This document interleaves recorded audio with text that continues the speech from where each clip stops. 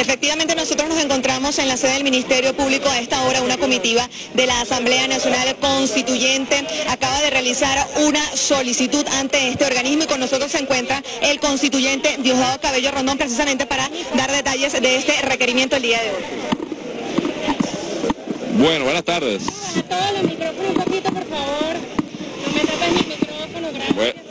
buenas tardes, a, buenos días todavía, a toda Venezuela. Hemos venido hoy un grupo de compañeros constituyentes de la Asamblea Nacional Constituyente a formular una denuncia ante el Ministerio Público, ante el señor fiscal Tarek William Saak, sobre unas denuncias que hemos recibido. Nosotros, hemos investigado, hemos entregado una serie de documentos reales, originales, originales, de documentos probatorios de una gran red de extorsión que funcionaba aquí en la, en la Fiscalía General de la República, con la participación activa de fiscales del Ministerio Público, con la participación activa de un diputado de la Asamblea Nacional y estoy seguro que nada de esto pudiera haber ocurrido sin la anuencia de quien dirigía esta fiscalía hasta hace unos días, la señora Luis Ortega Díaz. Nosotros hemos entregado hoy ante el Ministerio Público los originales, originales, originales, óigase bien, y le hemos pedido al señor fiscal, al señor fiscal Tarek William Sá que se le dé protección a estos documentos en un lugar extremadamente seguro, porque eh, son los originales, no hay, una, no, hay, no hay un documento parecido a ese, uno lo tiene el cliente, otro está en el banco, yo tengo uno, que nos han hecho llegar unas personas de los que ya fueron extorsionados, organismos de otros países, países amigos que nos han ayudado en esta investigación. Algunos dirán, ¿y por qué no hicieron eso hace seis meses? Es que parte de lo que está ocurriendo, hace un año, parte de lo que está ocurriendo tiene que ver con los acontecimientos de este país. Porque mucha gente era extorsionada, mucha gente era chantajeada, mucha gente le cobraban peaje, le cobraban una mafia. E inclusive utilizaban el nombre de la revolución bolivariana. Cuando la gente siente que desde la Fiscalía, quien dirigía la Fiscalía, comienza a estar aliada a los hechos de terrorismo, de violencia, comienzan a poner denuncias y comenzamos nosotros a investigar en todas las instancias posibles. Esto nos llevó a otros países, a otros países del mundo, donde hemos conseguido estos originales que hemos consignado hoy. Más de 6 millones de dólares en cuentas abiertas por unos fiscales del Ministerio Público, por el señor Germán Ferrer, por una persona que presumimos, según todas las investigaciones que hemos hecho, eh, es la señora Yoconda González, quien fue eh, ayudante o asistente de la fiscal, directora de la ex fiscal durante muchos años, directora del despacho. En el documento no aparece como Yoconda González, sino como Yoconda García. Pero esta es una red tan especializada, debo decirlo ante el país, tienen pasaportes dobles, se mueven con pasaportes dobles. Eh, hemos solicitado hoy al señor fiscal y a la fiscalía que se abra una investigación inmediata sobre este, esta, esta grave denuncia que estamos presentando.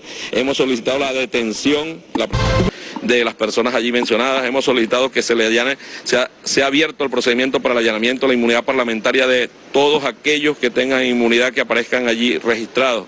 Hemos solicitado que le, que le sean congeladas las cuentas y los bienes para determinar el daño patrimonial a la, a la nación y, de, y, asegurar que la nación pueda tener algún tipo de garantía.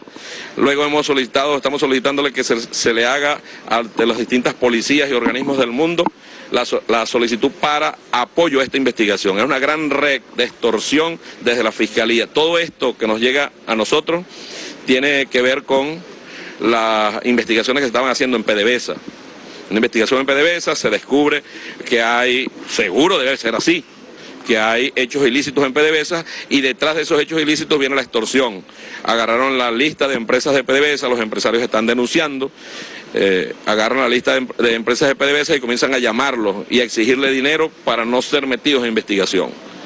Estas personas hicieron depósitos, hicieron entrega de dinero y ya están hablando, ya están diciendo a quién se la entregaron. Nosotros estamos Pásame, por favor.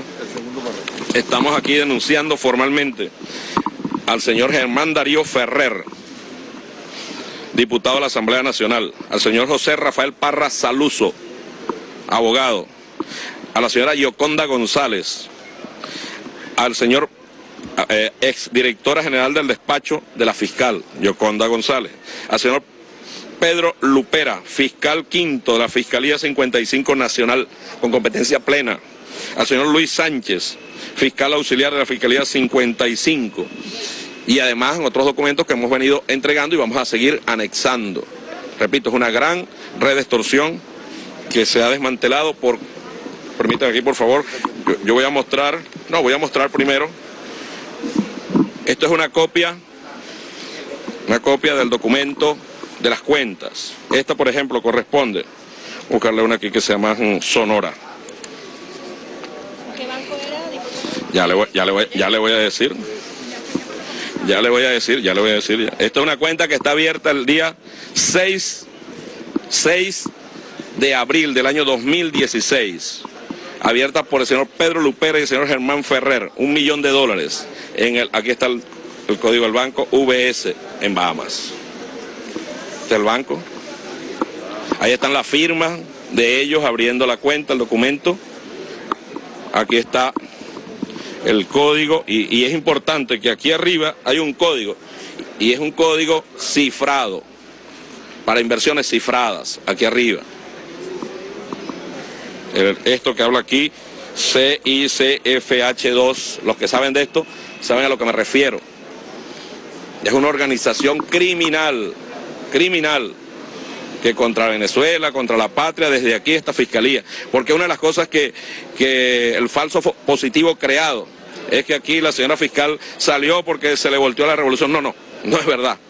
No es verdad. Y debe quedar muy claro, aquí hay una red de extorsión. Y ella salió porque le mintió al poder moral, pero luego de mentirle al poder moral en las investigaciones hemos determinado cualquier cantidad de chantaje y extorsiones con ramificaciones. Esto solo estoy denunciando hoy lo conducente a la, a la, a la faja petrolífera del Orinoco. Pero hay fiscales del Ministerio Público que extorsionaban a empresarios, extorsionan a detenidos. Ten- tenemos grabaciones, grabaciones sobre este tema que van a ser presentadas, grabaciones de, de- de los que están denunciando. Mire, yo lo grabé y aquí está, pidiéndole 600 mil dólares, pidiéndole 300 mil dólares. Una gran red de extorsión de un organismo que debería ser garante de cualquier investigación contra el crimen, contra la, eh, la corrupción, contra los delitos y se, y se convirtió, gracias o por culpa de la administración anterior, en un gran centro para el chantaje y la corrupción. ¿Qué participación pudiera La fiscal general, Mira. las posiciones políticas de la fiscal general demostradas en los últimos tiempos tienen algo que ver con estas No, no, no, no, no, no, no, no, no, no, no, no, no, no. No tiene nada que ver, por lo menos desde, desde nuestro punto de vista, no. La denuncia la estamos formulando nosotros como unas prue- con pruebas que estamos presentando. Mm, En verdad no tiene nada que ver con su posición política. Si a mí me la hubiesen, si yo hubiese tenido estas denuncias hace seis meses, igual lo hubiese hecho. Al hecho de que- A ella, a ella, la- hecho de que Eh, ella es probable, porque todo es-. Por- les voy a decir lo siguiente, detrás de esto hay una gran, hay organizaciones ONG, ONG, que en el mundo funcionan para el lavado de dinero. Gracias a que le ofrecen a empresarios, a exfuncionarios venezolanos, Venezuela está llena de eso, de exministros, que de repente ustedes los ven que se fueron para Estados Unidos. ¿Cómo se fueron para Estados Unidos? con la plata de los venezolanos, con cuentas abiertas en Estados Unidos. Les garantizan en Estados Unidos que no los van a tocar, pero a cambio tienen que denunciar a otras personas. A esta señora seguramente la, la tocaron estos organismos, le descubrieron todo esto y no le quedó de otra que hacer todo este tipo de cosas, pero nosotros hemos investigado. Yo estoy seguro que a muchos de nosotros nos ha investigado y no nos ha encontrado nada, ni nos van a encontrar. Mira, no, fiscales del Ministerio Público aquí en Venezuela sí hay, sí hay, sí hay. Y, y son organismos que están financiados por Estados Unidos, Costa Rica, Holanda, Canadá, eh, Argentina, Brasil, Colombia. Son los que financian este tipo. Miren, la Junta Directiva están, por ejemplo, tengo una denuncia, una denuncia formal de uno de estos organismos que no tiene nada que ver con, con, con Venezuela. Y cuatro de los ocho dirigentes de, la, de ese organismo son venezolanos.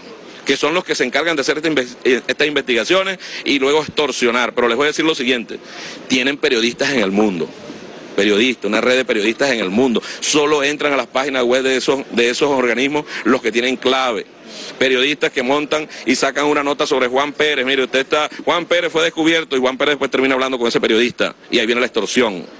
Ustedes saben que eso ocurre. Perdón, VS. Esta denuncia me la están presentando de acuerdo a las investigaciones que se, abrieron en la faja petrolífera del Orinoco por denuncias presentadas por el mismo presidente Nicolás Maduro, exigió una investigación. Y en medio de eso, de la investigación, ellos montaron su estructura para extorsionar. Es, es triste, lamentable que un organismo como este, con fiscales activos, no estamos hablando de fiscales que andan, no, no, son fiscales activos metieron hasta su familia. meten a su familia, meten a, meten a su familia porque están familiares. Mira, la hermana de uno de ellos utiliza dos, dos, dos pasaportes y opera en Ecuador para mover la plata.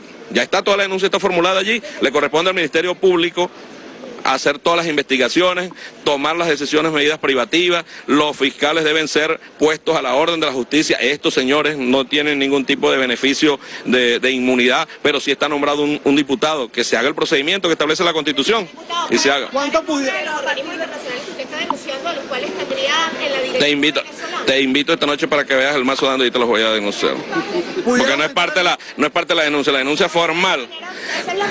Es claro, es, mira, mira, es el señor Parra Saluso, que es el abogado que aparece frenteando, crea una fundación en Panamá. Tengo el registro de la empresa en Panamá. Se llama PSP. Esa empresa llega y te contacta a ti, que sabe que tú tienes problemas. Yo te voy a representar, tú me depositas aquí, pareciera que es un contrato. No es un contrato, es una extorsión para que no los acusen aquí en Venezuela. Ocurrió durante mucho tiempo. Estas denuncias son del 2016 que estamos recibiendo nosotros en este instante. Pero si lo hubiésemos recibido en el 2014, ten la seguridad que aquí hubiésemos estado nosotros haciendo esa denuncia. ¿Pudiera aumentar el número de fiscales que estén involucrados? Estoy seguro, estoy seguro que aumenta. No, yo estoy denunciando, yo estoy denunciando a la fiscalía, no sé si escuchaste. Sí, escuché. Ok, gracias. Pero escuché que hay extorsión a corruptos en PDVSA. ¿Perdón? También habló de casos de corrupción en PDVSA, también van a solicitar... Es que es una investigación que solicitó el presidente, lo que pasa es que no quieren escuchar. La investigación la solicitó el presidente, no se hagan los locos ni las locas, la, solicitó el presidente. En base a esa investigación hay detenidos normales, pero ellos aprovecharon para montar una red de extorsión sobre los empresarios, comenzaron a llamarlo que no tiene nada que ver con el caso, algunos. Y esta gente está denunciando ahorita porque siente que puede haber justicia. Eso es lo que nosotros estamos canalizando. ¿Cuánto tiempo podría tener Ahora, nosotros resultados sobre estas investigaciones? Ya, ya, ya. Nosotros hemos hecho, dame el petitorio, Pedro, por favor. Por un lado, la fiscalía Está, está bien que hagan todas las acusaciones, nosotros estamos en contra de la corrupción. Todos aquellos que hayan eh, incurrido en hechos de corrupción que se han investigado, lo que estamos, esto desafortunadamente es muy triste que ocurra en el organismo encargado de las investigaciones. Voy, voy, voy a decir lo que hemos pedido. Dar trámite a la denuncia con el fin de iniciar, de acuerdo con las facultades y competencias que la Constitución y la ley reconocen a su autoridad, las investigaciones penales, investigaciones penales a todos los que estamos nombrando allí. Luego, considerando que hay un diputado que se haga el procedimiento de acuerdo a la Constitución para solicitar el allanamiento inmediato de la inmunidad parlamentaria de este diputado. Tercero, que se solicite los órganos jurisdiccionales que sea aplicada la privativa de libertad donde corresponda de manera inmediata para evitar su fuga, que se les congelen las cuentas a estas personas, que se les bloqueen, pero se les congelen las cuentas y los bienes para garantizar y se, además se prohíba su salida del país de manera inmediata para que no terminen donde todos sabemos que terminan los corruptos de Venezuela en Estados Unidos. Protegidos. ¿Ah? ¿Cuál fue la respuesta del fiscal? El, fiscal debe informó arriba que va a dirigirse al país en breves minutos. Es muy grave lo que estamos, lo que nosotros hemos presentado hoy. Hemos presentado originales, originales de cuentas abiertas por fiscales. ¿Cómo un fiscal del Ministerio Público puede abrir una cuenta de 1.700.000 dólares? ¿Cómo un diputado puede abrir una cuenta de un millón de dólares? ¿Cómo? ¿Cómo? En Bahamas. En Bahamas. Pero eso es una gran regla. Nosotros vamos a seguir en grupo de, de constituyentes que nos hemos, nos hemos establecido en investigación para llevar adelante todo, recoger todas estas denuncias y traerlas al Ministerio Público para que haya justicia. La fiscal general de la República estaba enterada a, la información que ustedes conocen Mira. de esta red de extorsión. Mira, yo estoy, yo no tengo, yo, aquí no aparece ella mencionada, pero te voy a decir algo. ¿Quiénes aparecen? Pero te voy a decir algo, está su esposo, está su directora del despacho y están fiscales del Ministerio Público designados por ellas mismas. Eso es muy difícil que no sepa nada. Muy difícil. Serán las investigaciones las que van a determinar. Serán las. Lo que yo he presentado hoy son pruebas contra esta gente. Pero las investigaciones van a determinar el grado de responsabilidad que haya tenido esta señora. ¿Ustedes se comunicaron con ellos, quizás con el diputado Ferrero, con la, eh, con la fiscal, para ver, eh, para informar Mm, sobre esta denuncia? No, no, yo vengo a informar al Ministerio Público. Yo vengo a informar al Ministerio Público, el Ministerio Público haga las diligencias judiciales que tenga que hacer ante los tribunales, ante las autoridades, los organismos de seguridad. Yo estoy seguro, conociendo al, señor Tarek William Sack, que es implacable contra estas cosas de delitos, de corrupción, y además que siente un deber moral de sanear este organismo, que ya en este momento en la bajada de nosotros por acá está tomando decisiones, designando fiscales, designando todas las averiguaciones que tenga que hacer y tomando las medidas que tenga que tomar para evitar que esta gente se, se vaya. ¿Quién? No sé, debe estar, deben, estar, deben estar en su casa, deben estar en su casa, deben estar aquí en Venezuela. Algunos, por ejemplo, como Yoconda García, eh, Yoconda González, sabemos que está afuera. ¿Con qué salió? Con un documento que no era de ella. Operan con, operan con, operan con pasaportes eh, falsos, se mueven en el mundo con pasaportes falsos. Seguramente, seguramente, seguramente. Yo, fiscal general de la República, le digo al- al- a, alguien del SAIME, "Mira, necesito un pasaporte para esta persona porque está haciendo una investigación. No puede aparecer su nombre porque lo van a matar. ¿Qué hace el del SAIME? Esa es la, esa es la cooperación, esa es la cooperación. No, eso no es corrupción en, en ese, a ese nivel. A ese nivel. Quizás una investigación también contra Que se hagan todas las investigaciones que tengan que hacerse, todas. Nosotros no estamos protegiendo a nadie, ¿entiendes? No estamos protegiendo a nadie. Allá aquellos que están defendiendo a alguien. Ahora, ellos- Nosotros, nosotros aquí estamos poniendo una denuncia bien amplia, que tenga que llegarse a donde, donde tenga que llegarse. No estamos protegiendo a nadie, no tenemos compromiso con nadie.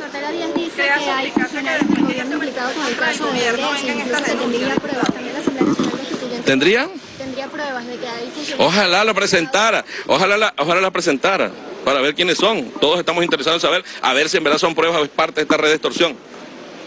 O es parte de esta red de Ahora, extorsión. diputado, ellos se van a, se van a declarar perseguidos políticos.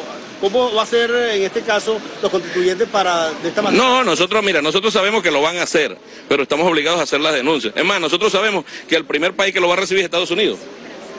Nosotros sabemos eso, o sea, el que los va a proteger. El que no lo sepa, eh, este, el que no lo imagine de esa manera, bien ingenuo es estas alturas del partido. Ahora, nosotros estamos obligados a hacer la denuncia, nosotros estamos obligados a poner las cartas sobre la mesa, que se sepa lo que ocurría en este organismo, cómo se designaban los fiscales, cómo, eran, cómo era la operación de cada uno de los fiscales en esta gran red de extorsión, que, repito, yo solo pudiera decir, estoy presentando la sucursal faja petrolífera, pero puede haber sucursal delitos comunes puede haber sucursal drogas, puede haber sucursal este, X o cualquier otro organismo. Legitimación de, de capitales. Esto, por ejemplo, eh, a todas luces, a todas luces, pareciera que hay una, un delito de legitimación de capitales, de lavado de dinero, que solo se hace con apoyo de otros, de otros países. En esto que estoy presentando es un poco más de 6 millones de dólares. Poco más de 6 millones de dólares abierto en dos, en dos semanas consecutivas. Semana del 29 al 31 de marzo del 2016, semana del 5 al 7 de abril del año 2016 fueron abiertas estas Esto cuentas. pudiera ser una copia de lo que fue en el pasado o la tribu de David. No sé si será de David, de Luisa, no sé de quién será, pero seguro es un hecho criminal que nosotros estamos enfrentando. Y vamos a seguir. Sabemos, los, los constituyentes sabemos a qué nos estamos enfrentando. Sabemos perfectamente dónde nos estamos poniendo. Nos estamos- poniendo en este momento en el, en el foco de la luz. No nos importa, queremos que se llegue a la verdad. Muchas gracias a todos. Escuchamos palabras del constituyente Diosdado Cabello Rondón, quien junto a una comitiva de la Asamblea Nacional Constituyente denunciaban una red de extorsión que estaba operando en el Ministerio Público. Además, solicitaron antes, ante juicio de mérito contra el diputado Germán Ferrer. Con esta información nosotros vamos a retornar a los estudios de Venezolana de Televisión. Adelante.